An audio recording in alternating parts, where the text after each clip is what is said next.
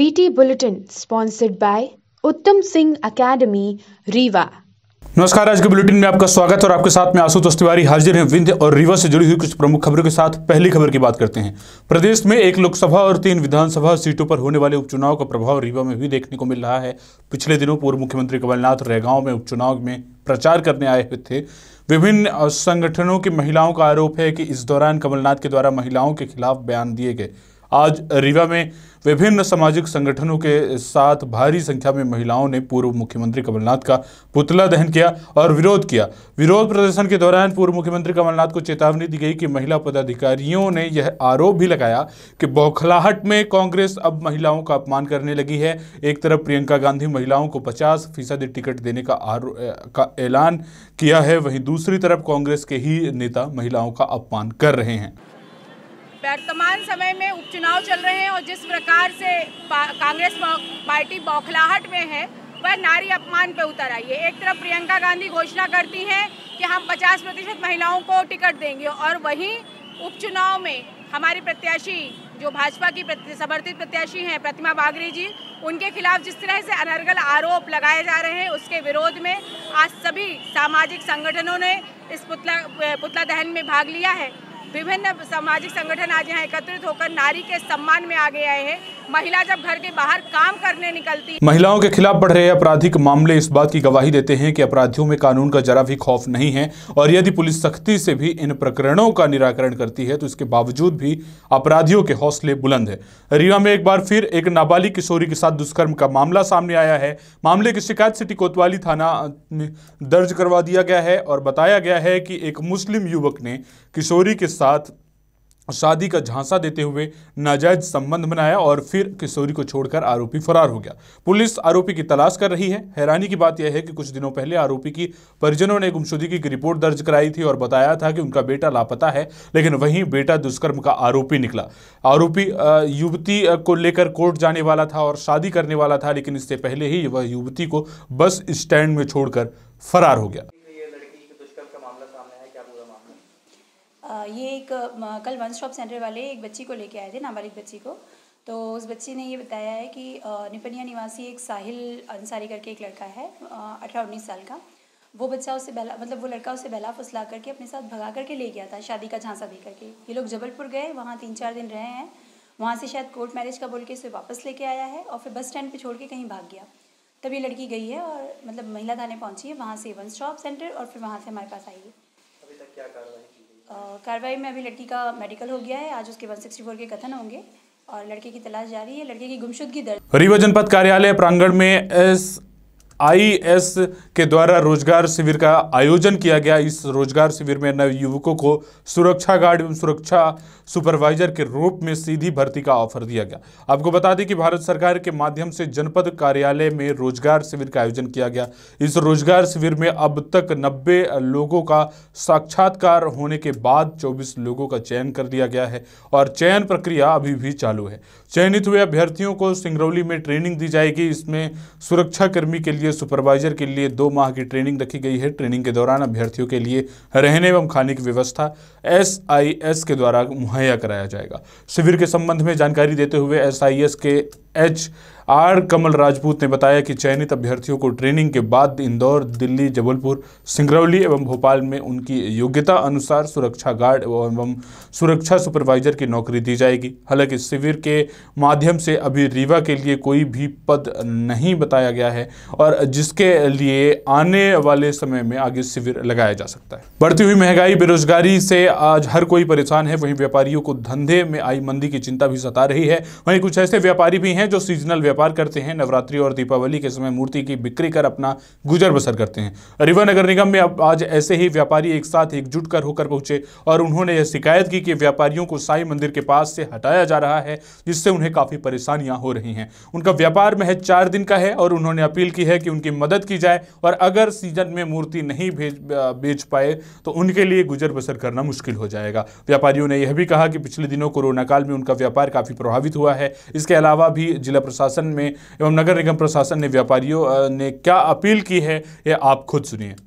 मोनू प्रधान हम लोग आए हैं मूर्ति लक्ष्मी गणेश जी की उद्देश्य से आए हैं और हम दस ही दस साल से मूर्ति लगा रहे हैं और साई मंदिर के पास हम लोग दस साल से मूर्ति लगा रहे हैं। दो साल लॉकडाउन में हम लोग बहुत मारे गए। दो साल से हम लोग का सभी तरह का व्यापार एकदम बंद कर दिया गया। आज किसी भी तरह से लोगों से कर्जे लेके बैंक से कर्जा लेके हम लोग व्यापार करने की कोशिश कर रहे हैं। और प्रशासन और कमिश्नर साहब और अधिक विधायक, उनसे अनुरोध है कि हम गरीबों के ऊपर ध्यान दें और हम गरीबों का चार दिन का व्यापार है तो हम गरीबों के मुँह पेट में लात मत मारे, है ना? उनसे अनुरोध है जो भी फैसला ले अच्छा ले, हम गरीबों के बारे में बहुत अच्छी चीज़ें सोचें। क्योंकि हम गरीब चार महीने बैठते हैं, एक दिन के लिए, चार दिन के लिए व्यापार कर रहे हैं और कोई है ना गलत व्यापार नहीं है। लक्ष्मी गणेश जी का है, दुनिया में पूजा होती है। अगर हम दुकानदार, दुकान ना लगाएँ तो पूजा है ना, भगवान को कौन लेके जाएगा अपने घर में? तो हमारी यही गुजारिश है कि कमिश्नर साहब हमने हमारा हम कह- हम लोगों ने कहा हमारा कहने का मतलब ये है कि कमिश्नर साहब इतने समझदार हैं जो भी सलाह लें अच्छी ले मतलब हम गरीबों का पूरी तरह से पेट ना मारें।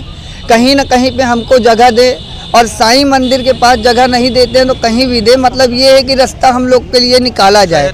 डायरेक्ट हाथ मत उठा लें कि हम आपको दुकान नहीं लगाने देंगे। और हम चाहते हैं कि कुछ ऐसी जगहों में दें जहाँ पे पब्लिक जा सके और हम अपने व्यापारी, अपनी मूर्ति लक्ष्मी माताओं को बेच सके, है ना? हम बहुत कष्ट से गुजर रहे, दो साल से मार खाए हुए हैं। तो अगर ऐसा हो जाए तो बहुत आदर होगा, है ना? हम दुकानदार, पचास दुकानदार हैं। हम ये कहते हैं कि हर कोई है कोई है ना, लाई बेचता है, दो हज़ार रुपये की कोई मूर्ति बेचता है, सब तरह का। हम लोगों ने ये है कि कहीं से कर्जे लेके आज मूर्ति लिया है, दो दो लाख रुपए की मूर्ति, लाख लाख रुपए की पचास पचास हज़ार की हर कोई लाया है। तो अब हम गरीब क्या करें? है ना? पैसा कमाना है तो सिविल कंस्ट्रक्शन कार्यों में जाइए, क्योंकि सिविल का काम ऐसा है जहाँ काम तो ना के बराबर होता है, लेकिन वहाँ पैसा बहुत है। ऐसी एक आम धारणा जो है वो बन चुकी है। बात सही भी है, क्योंकि चाहे गाँव हो या शहर, ग्रामीण सड़कें हों या मुख्यमंत्री तथा प्रधानमंत्री सड़कें हों, मध्य प्रदेश सड़क प्राधिकरण की सड़कें हों या फिर नेशनल हाईवे की हो, सड़क बनी नहीं कि उसका उखड़ना शुरू हो जाता है। देश में बहुत सी कम सड़कें होंगी जो गुणवत्तापूर्ण ढंग से बनाई गई हों, जिनकी जितनी उनकी गारंटी पीरियड रहती है, उस समय तक वो चल पाती हों। अब यदि रीवा की बात की जाए तो मनगमा से चाकघाट नेशनल हाईवे 27 घटिया गुणवत्ता से पहले नवंबर, नंबर वन पर आती है। Malaysian company Top Worth company को मिला यह प्रोजेक्ट। दिल्ली बिल्डकॉन को पेटी कॉन्ट्रैक्ट में दिया गया। दिल्ली बिल्डकॉन के बाद यह सड़क निर्माण कार्य बंसल कंपनी ने थामा।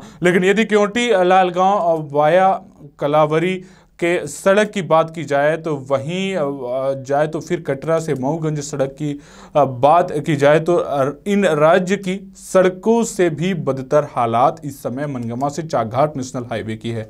विशेषकर सुहागी पहाड़ में तो हालात इतने खराब हैं कि कब कहाँ दुर्घटना हो जाए पता ही नहीं चल पाता। अभी हाल ही में लगातार हो रही सड़क दुर्घटनाओं के कारण जमकर मीडियाबाजी हुई और मामले की शिकायत सामाजिक कार्यकर्ता शिवानंद द्विवेदी के द्वारा वरिष्ठ अधिकारियों को की गई। और यहाँ तक कि कलेक्टर मुख्यमंत्री के नाम ज्ञापन सौंपकर सात दिवस के अंदर कार्य न होने पर आंदोलन की चेतावनी दी गई। लेकिन जहाँ सड़क पर छुटपुट कार्य प्रारंभ हुए, वहीं बड़ी वहीं बड़ी शिकायत पर तो कोई कार्यवाही ही नहीं हुई। शिवानंद वेदी की शिकायत को देखा जाए तो उन्होंने सुहागी पहाड़ में सड़क की डिज़ाइन एवं उनकी गुणवत्ता को लेकर प्रश्न खड़ा किया है। उच्च स्तरीय टीम गठित कर जाँच की मांग की है। हालाँकि मामला विभिन्न विभागों में भेजा गया है, लेकिन कार्यवाही पुलिस महानिदेशक भोपाल से प्रारंभ हुई है। और अभी भी अक्टूबर के पहले सप्ताह में पुलिस अधीक्षक रीवा द्वारा एमपीआरडीसी को पत्र लिखकर शिकायत की जाँच कर कार्यवाही की बात कही गई है। अब देखना यह है कि कितना जल्दी सुहागी पहाड़ की सड़क समतल की जाकर बेहतर बनाई जा, जाएगी और कब पर्याप्त मात्रा में नोटिस, बोर्ड, सिग्नल आदि की व्यवस्था किया जाएगा।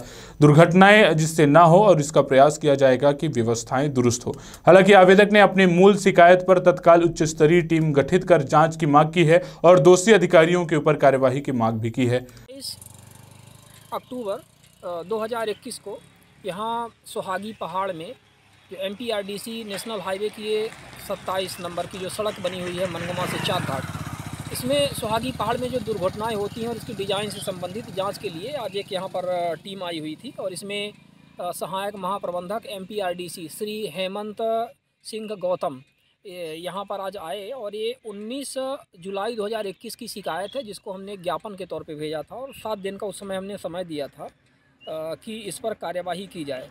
ज्ञापन जो था मुख्यमंत्री मध्य प्रदेश शासन के साथ डीजीपी और संबंधित वरिष्ठ अधिकारियों को भेजा गया था। तो इस पर पत्राचार किया गया डीजीपी कार्यालय के द्वारा और डीजीपी कार्यालय के द्वारा पत्राचार कर इसमें दो पत्राचार किए गए। एक सात अगस्त को हुआ और फिर उस पर कार्यवाही नहीं हुई तो इक्कीस सितंबर को पुलिस अधीक्षक रीवा के नाम पर पत्र जारी कर और हमारी जो शिकायतें थी उस पर जाँच करने के लिए कहा गया। इसमें हमने जो मुद्दे रखे थे, वो पहाड़ों पर जो सुहागी पहाड़ है, इस पर सही डिज़ाइन का अभाव होना और इस पर हमने बात कही थी कि सही डिज़ाइन नहीं, जिसकी वजह से एक्सीडेंट हो रहे हैं, आए दिन एक्सीडेंट होते हैं और इंजीनियर्स द्वारा सही तरीके से मूल्यांकन और सत्यापन नहीं किया गया इन सड़कों का। क्योंकि भ्रष्टाचार किया गया सड़क सर आज आप यहाँ पे नेशनल हाईवे सत्ताईस सुहागी पहाड़ पे खड़े हुए हैं। जाँच में आए थे। क्या मामला था? किसके शिकायत पर जाँच में आए ये शिवानंद द्विवेदी जी सामाजिक कार्यकर्ता थे। इनकी सुहागी घाट को लेकर के आ, कुछ बिंदु शिकायतों के थे। उसकी जो है मतलब कि मैं एच एन सिंह गौतम सहायक महाप्रबंधक एम उसकी जो है मतलब यहाँ जाँच पे आए ये सड़क जो है 2019 में बन चुकी थी, जिसमें कि घाट पोर्शन में सही डिज़ाइन का न होना इनके द्वारा किया गया था और कार्य की गुणवत्ता। तो इससे मेरा ये कहना था कि चूँकि ये दो वर्ष पूर्व बन चुकी है और इसके लिए कंसल्टेंट विभाग द्वारा नियुक्त रहता है, जो कि डिज़ाइन अप्रूव करते हैं और अभी वर्तमान में घाट पोर्सन में एक्सीडेंट ना हो, इसके लिए स्पीड ब्रेकर बना दिए गए हैं। उसमें साइन बोर्ड और पेंटिंग की काम करवा दिया जाएगा और घाट पोर्सन में पैच रिपेयर का कार्य प्रगति पे है और और जो भी जो है मतलब इनकी तरफ़ सुझाव होगा सीधी ज़िले के जमुड़ी थाना अंतर्गत अघियार खो में एक महिला ने पारिवारिक रंजिश से तंग आकर खुद को आग के हवाले कर दिया, जिसके कारण महिला बुरी तरीके से झुलस गई। परिजनों द्वारा आनंद फानन में महिला को इलाज के लिए चिकित्सालय ले आया गया, जहाँ पर महिला ने दम तोड़ दिया। बता दें कि रीता गुप्ता उम्र लगभग 32 वर्ष पति राजेश गुप्ता ने आज दोपहर पारिवारिक रंजिश के तंग आकर खुद को आग लगा ली और जिससे आग में बुरी तरीके से झुलस गई और महिला की मृत्यु हो गई। महिला के पति राजेश गुप्ता ने मीडिया से बात करते हुए बताया कि राजेश गुप्ता के भाई परिवार द्वारा आए दिन गाली गलौज की जाती है और मारपीट की घटना को अंजाम दिया जाता है। महिला ने पति के अनुसार इन्हीं सभी बातों से तंग आकर महिला ने इस प्रकार का कदम उठा लिया है। फ़िलहाल पुलिस द्वारा मामले की विवेचना में लाश को पोस्टमार्टम के लिए भेज दिया गया है, सीधे से अभिलाष मिश्रा की रिपोर्ट। आमतौर पर देखा जाता है कि अधिकांश लोग यातायात के नियमों का पालन नहीं करते हैं, जिसके कारण बहुत सी, बहुत ही बड़ी दुर्घटनाएँ भी होती हैं। और यहाँ तक कि लोग, लोगों के द्वारा हेलमेट का उपयोग भी नहीं किया जाता है। वहीं दूसरी ओर वाहन चलाते चलाते फ़ोन पर भी बात की जाती है, जिसके कारण से दुर्घटना का खतरा हमेशा बना रहता है। समय समय पर सीधी पुलिस द्वारा यातायात जागरूकता के लिए विभिन्न प्रकार के कदम उठाए जाते हैं, जैसा कि लोगों से संवाद करना और उनको जागरूक करना, इस, इसी क्रम में सीधी पुलिस द्वारा, ऐसे सभी लोग जिनके द्वारा यातायात के नियमों का पालन किया जा रहा है और खासकर हेलमेट का उपयोग किया जा रहा है, उन्हें पुलिस के द्वारा धन्यवाद व बधाई दी जा रही है। इसी क्रम में पैदल मार्च द्वारा भी पुलिसिया व्यवस्था को और अधिक दुरुस्त करने का कार्य किया जा रहा है। कोतवाली प्रभारी हितेंद्र नाथ शर्मा यातायात प्रभारी कल्याणी पाल के नेतृत्व में सूबेदार भगवत प्रसाद पांडे और द्वारा इस प्रकार के कार्य लगातार किए जा रहे हैं, जिससे कि और भी लोग यातायात के नियमों के प्रति संकल्पित रहें। सीधी से अभिलाष मिश्रा की रिपोर्ट। तो ये थी आज की रीवा और विंध्य से जुड़ी हुई कुछ प्रमुख खबरें। ऐसी तमाम खबरों के लिए आप रोज़ाना देखते रहे विंध्या टाइम्स। बहुत बहुत धन्यवाद।